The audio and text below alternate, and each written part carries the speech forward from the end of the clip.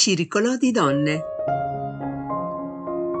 Il cerchio è il simbolo del femminile, della luna, che è ciclica.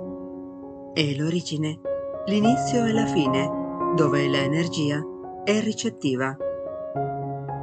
Dove l'importante è condividere, non c'è leader, non c'è un capo. I circoli risalgono a tempi antichi e a culture diverse sono presenti oggi.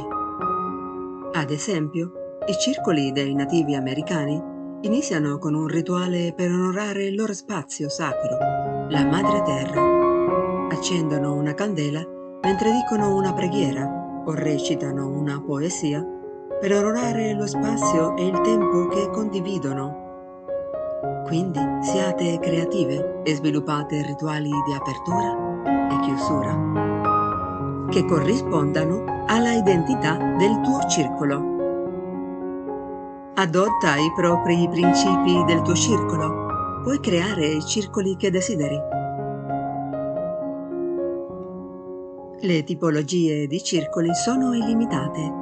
Possono essere di tanti tipi, spirituali, per la lettura, per le madri, artistici, eccetera. Creazione di un circolo della pace uno spazio sano per tutte e un ambiente sicuro. Principi del circolo femminile utilizzati fin dall'antichità.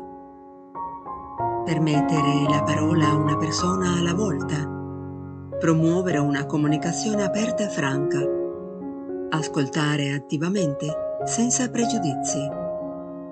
Ascoltare con compassione Offrire esperienze invece di consigli. Invitare al silenzio quando c'è un dubbio o necessità. Condividere la leadership e le risorse.